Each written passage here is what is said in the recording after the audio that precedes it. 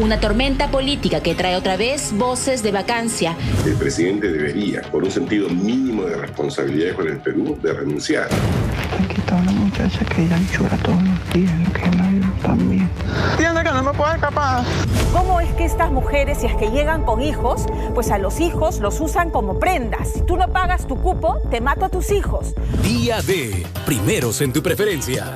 A las 9 y 55 de la noche por ATV.